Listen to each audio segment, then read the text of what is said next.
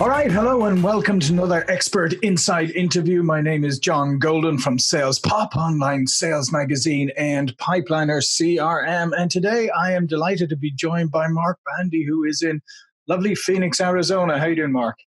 John, I'm doing great and I'm glad to be here. Thank you. Yeah, and I'm as usual, not that far away from Mark here in, in San Diego.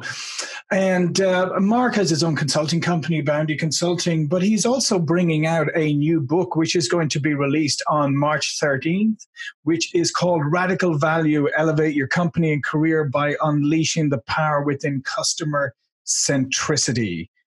Okay, so um, Mark, you know the premise of your book is right. The purpose of any company is to generate higher value than it than it costs to deliver. Okay, so let's just baseline it a little bit about what prompted you to write the book and and and just expand on the core theme. Well, I really want to change the way a lot of businesses approach their business. And I had been for almost a decade a consultant with one of the big sales training companies. Yeah. And what I and every other consultant at this giant company, so this is tens or hundreds of thousands of opportunity reviews, what we all knew that people get wrong is understanding customer perceived value.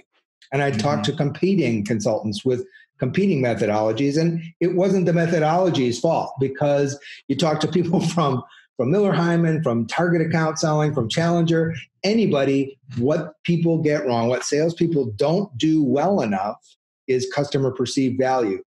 And from my old academic days, I know that customer perceived value is the one thing that changes customers' mind. Value, mm-hmm. perceived value, drives decisions. So if that's the thing that salespeople are doing poorly, and it's the thing that moves your sale, maybe I need to help people focus on the right part of what you know the the, the most important part of selling. Yeah. So I mean, uh, you know, a lot of a lot of salespeople would say, "Oh yeah, yeah, no, I understand. It's about the you know where the customer sees value and all of that." But they still struggle a lot of the time is actually to uncover what that is. So uncover what the perception, what the perceptions of value are for for the customer. So what are some of the ways that salespeople can start to go about doing that or do that more effectively?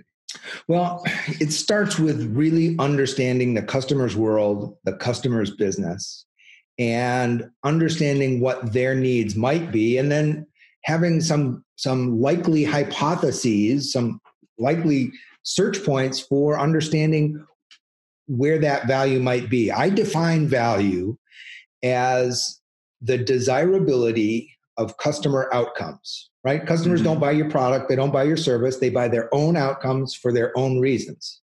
And so you have to find out what outcomes they're buying and how bad they want them. Mm-hmm. And the better you understand their business and the better you understand their world, the more you can find out what outcomes they're looking for.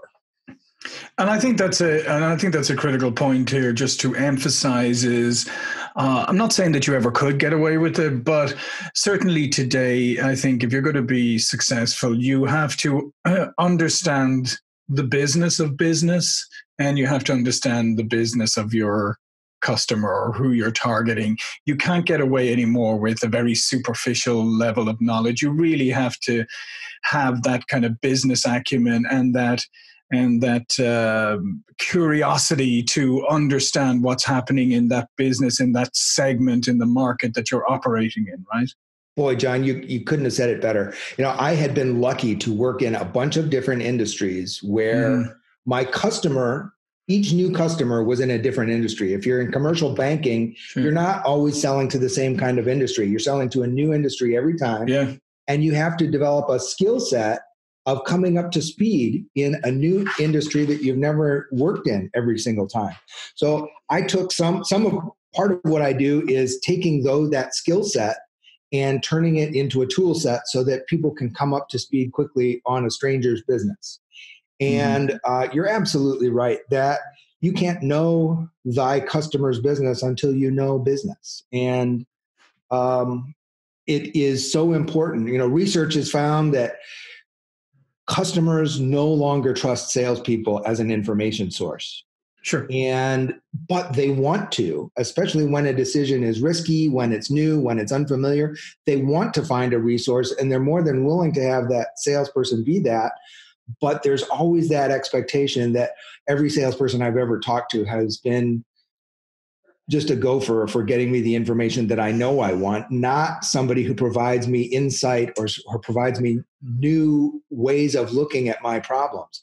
And so the demand that salespeople have is to overcompensate. You've got to be way, way better than mm-hmm. the customer's expectation to start being that valued resource to be brought in when they're trying to figure out and develop their decision criteria. Yeah, and obviously to do that, right, Mark, is you have to be able to have really good conversations, right? And you have to have a conversation that draws the other person into to expanding a little bit more on what's going on with their organization and what's important to the organization and what's important to them as well. Uh, so how how can how can salespeople uh, improve the level of the kind of engagements or communication that they have with when they get a prospect? Well, I hate to sound too woo woo here, John, but it has to start with the intentionality and the mindset that mm-hmm. I'm not here to sell crap. I'm here to help a customer make a better decision than any other salesperson is going to help them make. Mm-hmm. And that means genuine curiosity, genuine empathy for your customer. And once you do that and you have some real deep understanding of your customer's world and their business, it becomes easier to ask questions. Now, I also have tools to, to help understand all the different hypotheses to develop a complete set of possible areas that a salesperson should be exploring with a given customer um, rather than a single threaded value proposition, which is, I, I'm on a campaign this week to say I hate the word value proposition because so many times that means it's a single threaded, most likely hypothesis. And the world has gotten too complex and too multifaceted for you to use that one size fits all value yeah. hypothesis. So I want to develop a myriad of hypotheses and let a salesperson with some deep customer insight pick from a menu that he thinks he or she thinks is going to be a great conversation. And that's a real great way to differentiate yourself as a seller. Yeah, and I see in, in in chapter five of your book that's coming out, you you have a, a lot of great information around understanding the customer's business environment, and I think this is where a lot of people struggle because they don't they don't look at a, a customer's business environment look at okay there are uh, you have like external forces internal for internal forces at work. So they don't look at it holistically. They tend just to focus in on maybe just trying to find a singular pain point or two. Yeah i think you hear some simplistic folks in the world saying um, my training is going to help you either help them save money or save time because those are the mm-hmm. important things and if you can't do that um, you shouldn't be selling. And those two are important, but there's so many other things that you can do. You can help them reduce risk. You can help them. Uh, there's dozens of different things you can do, and if you are only selling time savings or money savings, you're selling the exact same thing that your three largest competitors are selling, and you aren't differentiating. You're mm-hmm. you're in the top group, but you are only in the top group. Yeah, and I think one of the things, uh, Mark, as we know, is uh, that often happens is that uh, salespeople will latch on to the first thing that you mention as a prospect that maybe is an issue that you're trying to solve, but they don't develop it enough to see whether that's actually an issue that you're you're going to solve right? It may be something that's an irritant right now but you you know maybe you're going to live with it but you have to go a little deeper and really understand what are the ramifications of everything and are there enough and who else is involved. And I guess the other piece that I often find people leave out is the benefit to the organization, right? Yeah. But what about to the person they're talking to? What about oh. the different individuals? What's what's in it for them? What's riding on it for them? Because at the end of the day, it's human beings buying, yeah. right? Yeah, yeah value is this multifaceted thing. It's not a single thing. It's what does the customer already know about in terms of their trouble? in mm-hmm. both negative and positive, right? Pain and gain that they know about. What are pains and gains that they don't know about that you could open their eyes to? And which ones, and for each of those things, there's some business or corporate solutions that you can give. And what does that mean to them personally? Uh, some of my best, most epic sales stories uh, came about because I helped people solve personal problems. Mm.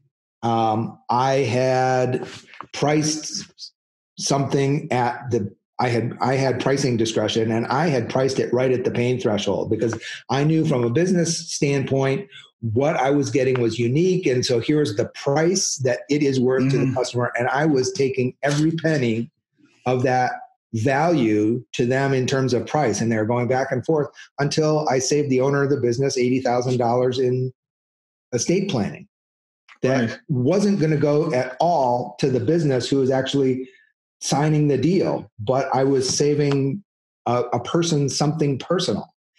And it was all because I found out about his relationship with his kids, his 40 year old mm-hmm. kids. And it was, um, we, and that's not, that shouldn't have to be a one off oh, that's the greatest thing I ever did in my sales mm-hmm. career. That should be something you learn how to do as a standard practice and as a repeatable way of thinking that you're looking for that kind of stuff.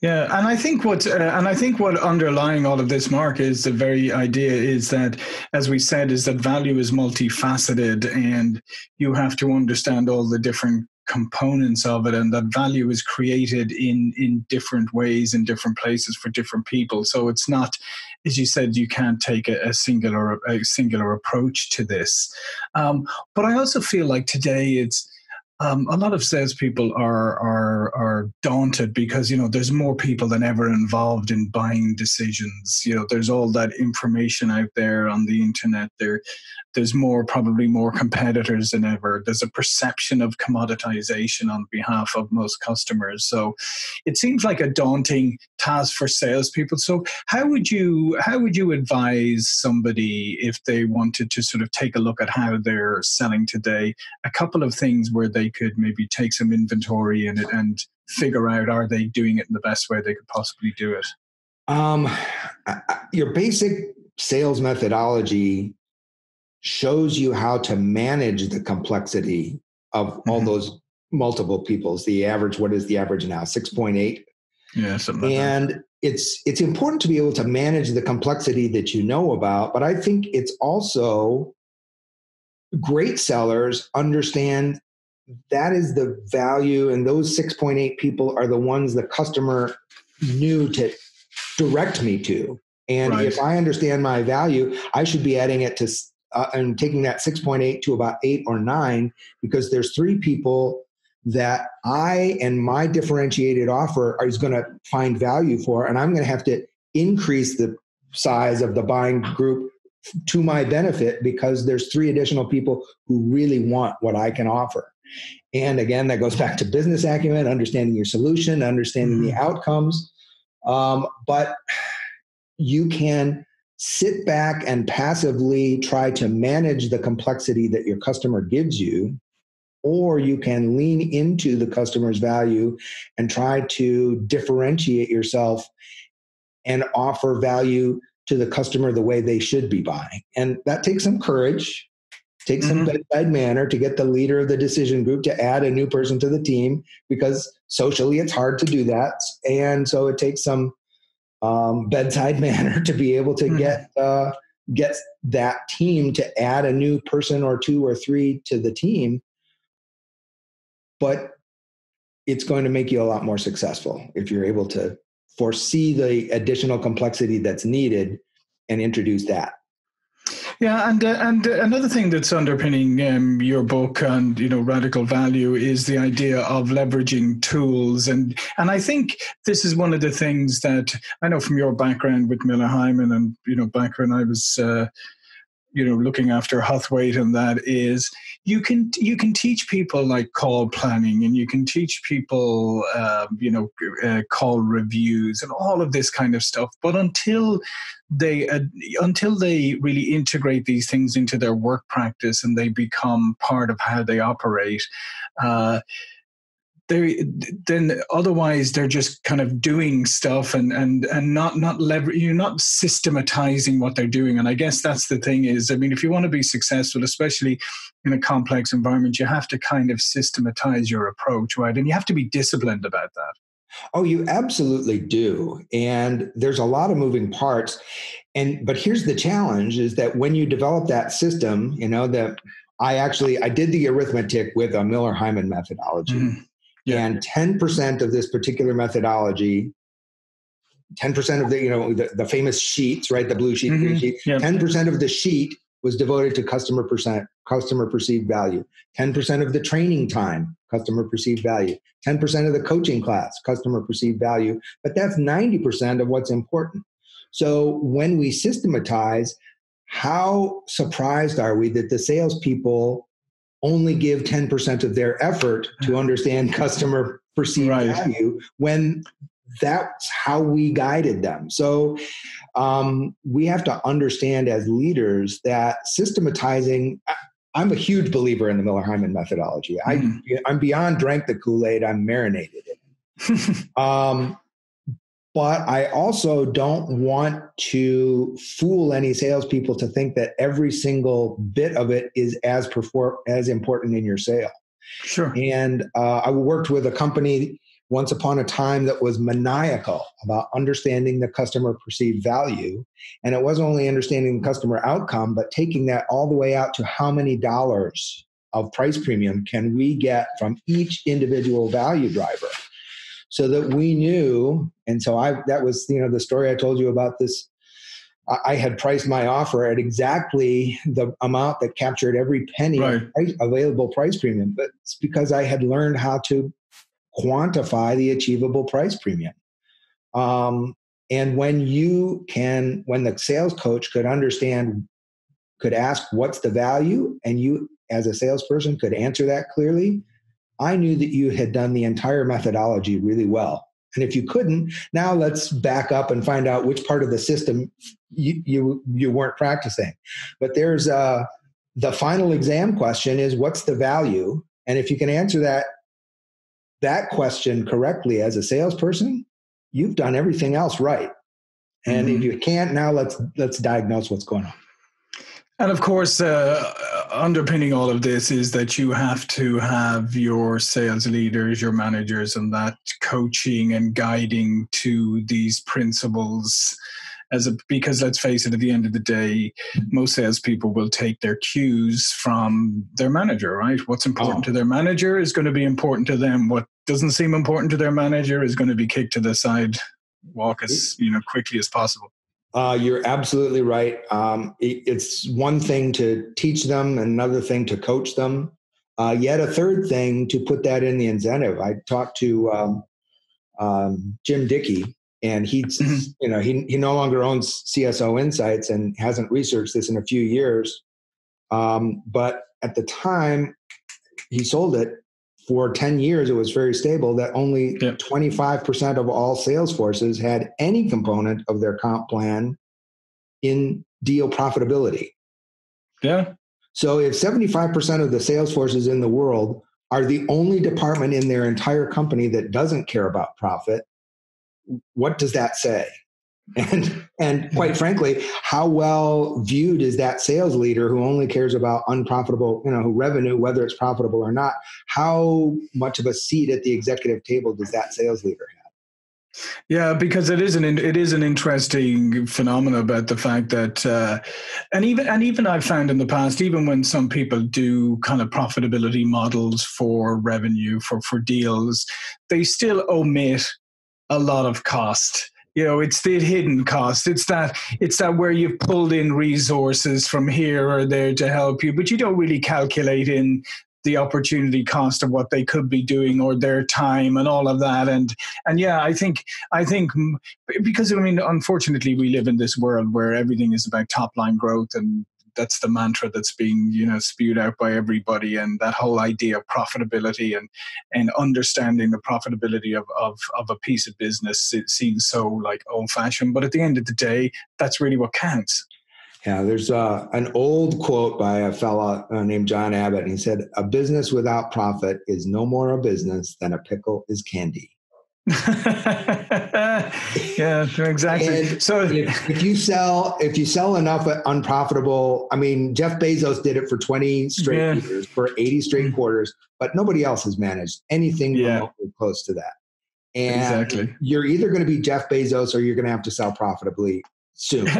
yeah, and there's only one Jeff Bezos. Well, um, listen, Mark, as we come to the end of our time here, well, I hope just I hope everybody's seen as that this is actually being recorded on Valentine's Day. I hope nobody gets pickles instead of candy today. But hey, whatever you're into. um, um, Mark, before we go, do you want to tell people a little bit more about your book? It's coming out on on March 13th. Yeah, the, the book is going to be available on Amazon. Look for Radical Value, and it's going to be on Amazon uh, on March 13th is the launch date. Go on it, sneak on Amazon and look for it on the 12th because for 24 hours I'm going to have a pre-launch discount. And here I am, Mr. Value Discount. But uh, it's all about uh, getting the number of book copies sold and it's valuable to me to give up some price in order to move up a bestseller list. So don't mistake my discounting to you as something where I am not getting some value in return. Excellent. Listen, Mark, this has been great. And by the way, Mark is a regular contributor to Sales Pop. Uh, he regularly uh, sends in posts, great blog posts. I really encourage you to read them and uh, you know subscribe to him on Sales Pop. My name is John Golden from Sales Pop Online Sales Magazine, Pipeline CRM. Listen, Mark, a pleasure as always, and I'll see you all for another expert interview really soon. Thank you, John. Thank you so much. I appreciate your having me on.